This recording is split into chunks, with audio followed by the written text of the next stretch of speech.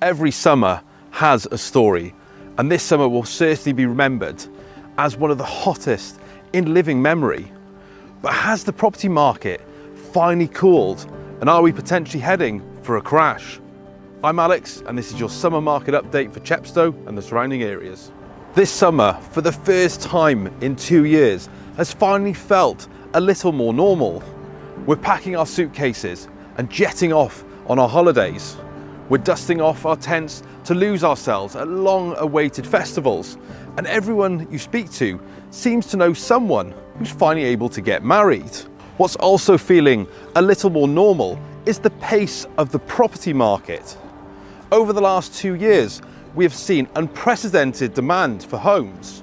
With the race for space, low interest rates, and stamp duty holidays only adding fuel to the already fiery market. According to Rightmove, the price of property coming to the market has hit its sixth consecutive record of 369,000, up 0.4% in the month, with over 433,000 homes in the UK changing hands in the first four months of 2022, making this the third busiest start to a year since 2007. The number of new sellers coming to the market is up by 13% compared to this time last year, giving more choice for buyers. Although the amount of available property to buy is still 40% down on July 2019. However, buyer demand is still up 26% over the same period, though down 7% on last year's frenzied market, with agents widely reporting fewer inquiries, viewings and offers per property compared to this time last year. So what effect is this all having on the local property market? In Monmouthshire, between May 2021 and May 2022, the average price of a property has increased by 14.4% on average, rising from 297,000 to 340,000. Detached homes saw the biggest increase with 15.2%, a rise from 428,000 to 493,000. Semi-detached properties increased from 246,000 to 282,000, which was equivalent to 14.6%.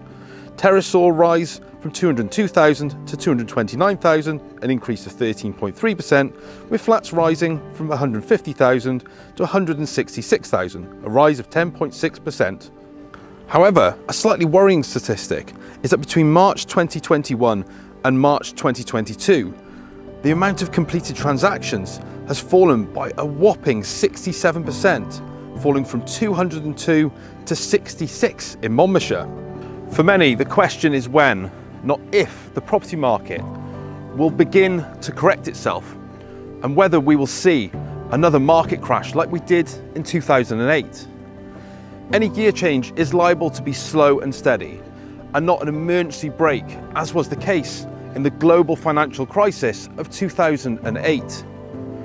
Forecasters still anticipate positive price growth over the course of the year. Market fundamentals remain strong. A strong desire to move remains in the minds of many. And there is a shortage of properties coming to the market. With such an imbalance remaining between supply and demand, house prices look like they will remain underpinned but with the increasing cost of borrowing and the current wider economic backdrop, this may cause buyer demand to continue to cool throughout this year, all a bit gradually. So if you're thinking of buying or selling a home this year, why don't you get in touch? I'd love to have a chat with you.